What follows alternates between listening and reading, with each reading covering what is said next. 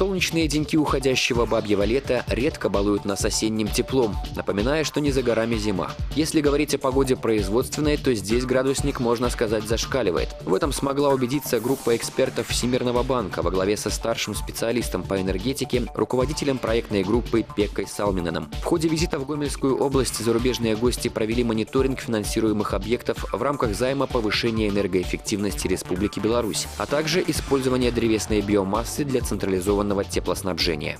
На сегодняшний день у нас по займу биомасса находится в Гомельской области. Мы э, значит, осваиваем деньги на 3 23 миллиона долларов. Это мы ведем строительство котельни в Зябраке. Вот мы сегодня находимся на этом месте. Вот. Мы ведем строительство котельни э, значит, э, в Рычском районе, городской поселок Заречье. И реконструкция строительства мини-ТЭЦ в городе Калинкович. По дополнительному займу мы сегодня ведем строительство, э, реконструкцию вот, ТЭЦ-1 в городе Гомеле. Идет успешно проект. Э, Компания китайская КМЭК э, ведет строительство этого объекта. Вот. К концу года уже поставлено почти что все оборудование основное. Вот, где-то к концу года мы должны освоить около 38 миллионов долларов. Вот, сам контракт заключен на 46,6 миллионов долларов. Всемирный банк – организация серьезная. Деньги там считать умеют и готовы их потратить лишь на действительно необходимое дело. В числе приоритетов – энергосбережение и энергоэффективность. Начиная с 2006 года средства были выделены 13 районам Гомельской области, которым необходима помощь в реализации проектов по снабжению тепла и энергосбережения. Охвачено 170 объектов социальной сферы. В школах, больницах, больницах и детских домах Гомельской области произошла замена окон и дверных блоков. Проведена замена светильников на энергоэффективные. Установлено новое оборудование и усовершенствована система теплоизоляции. Проведена замена коммунальных котельных и изношенных теплосетей. Пять населенных пунктов получили газовое отопление. Специалисты Всемирного банка оказывают поддержку в виде займов, технической помощи и координации помощи из других источников. Только по данным проекта освоено свыше 30 миллионов долларов. Большая часть из них средства Всемирного Всемирного банка – это свыше 25 миллионов. Особое внимание уделяется районам, пострадавшим от Чернобыльской катастрофы. В рамках займа Всемирного банка более двух лет назад в агрогородке Еремина Гомельского района построена новая котельная, которая обеспечивает теплом жителей населенного пункта. Здесь установлено современное оборудование, которое в основном функционирует на местных видах топлива. В случае сильных морозов подключаются резервные, работающие на природном газе. Аналогичный проект вводится в эксплуатацию в этом году и в населенном пункте Зябровка. На момент наших съемок объем выполненных работ составил 90%. Мы находимся на территории вновь строящейся котельной значит, в населенном пункте Зябровка. Значит, это второй э, проект, э, значит, э, реализующийся в районе по займу Всемирного банка.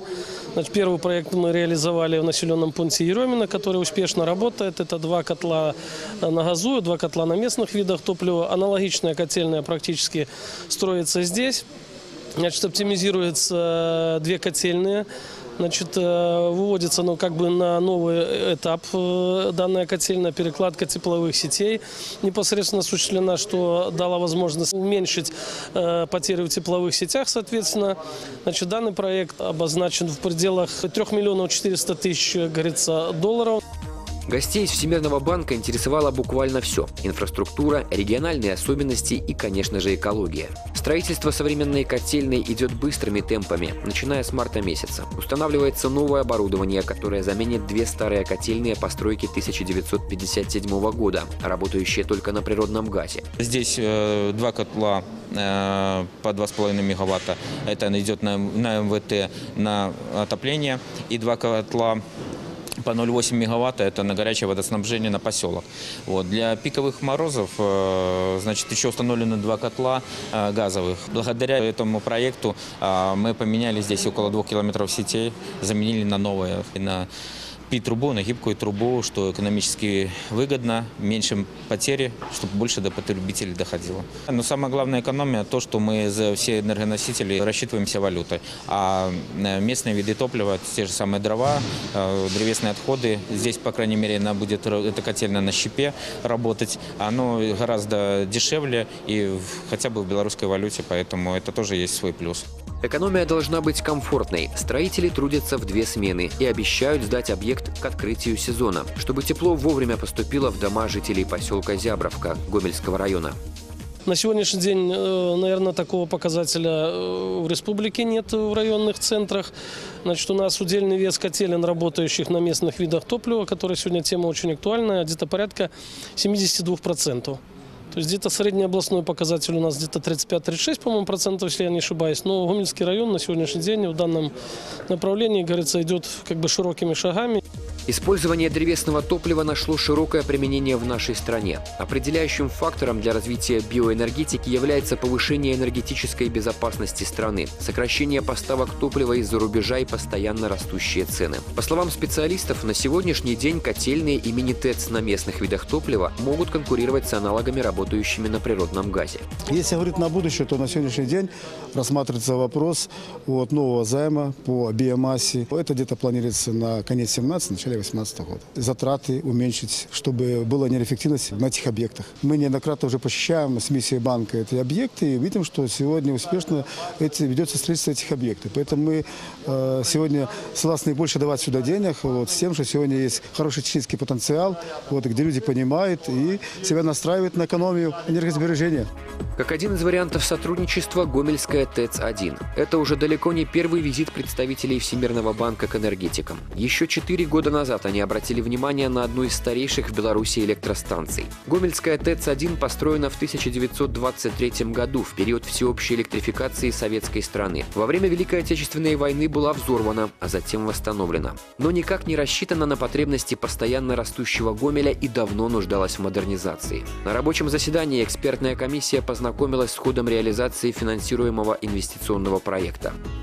Здесь ведется серьезная реконструкция. Монтируется новое энергоэффективное оборудование. Газотурбинная установка мощностью 25 мегаватт с небольшим сроком окупаемости. Паровой турбоагрегат мощностью 4 мегаватта и котел-утилизатор паропроизводительностью 40 тонн в час взамен демонтированного котла Шихау и еще довоенного производства. На месте этого котла значит, э, сделана площадка, демонтирована тоже часть здания, и на месте этого котла у нас будет установлена э, газовая турбина производства фирмы Hitachi и э, котел-утилизатор фирмы Ханчжоу Китай. Отличительной особенностью данной, данной работы и данной площадки ТЭЦ, ТЭЦ-1 является очень большая стесненность, потому что э, здание Э, котельная старая, здание, которое окружает ее, тоже старое. Никто не думал, что будет такая реконструкция производить.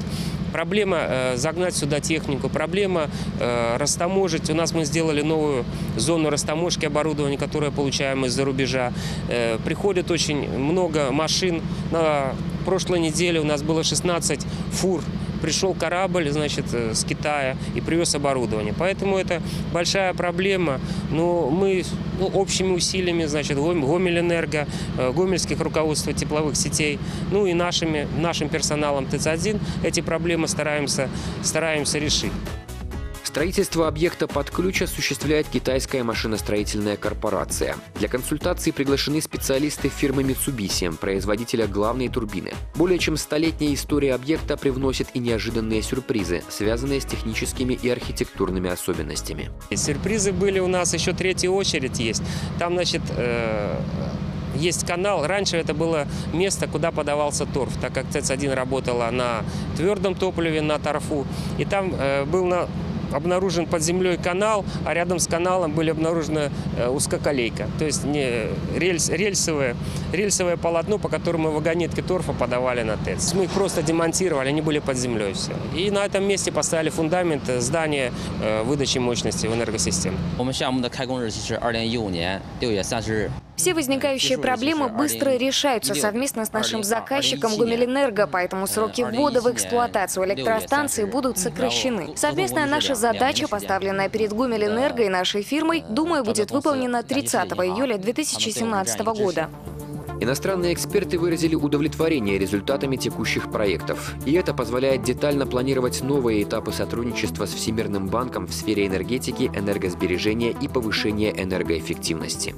Yes, I have been working on this. Мы уже очень много лет сотрудничаем а, с 10 years. Гомельским а, областным отделением а, Департамента по энергоэффективности. Могу сказать, что там работают настоящие профессионалы, и у нас сложились очень хорошие отношения как на рабочем, так и на человеческом уровне. Гомельэнерго работают настоящие профессионалы, работать с ними тоже э, всегда очень приятно. И сегодня утром мы были а, рады убедиться в том, что.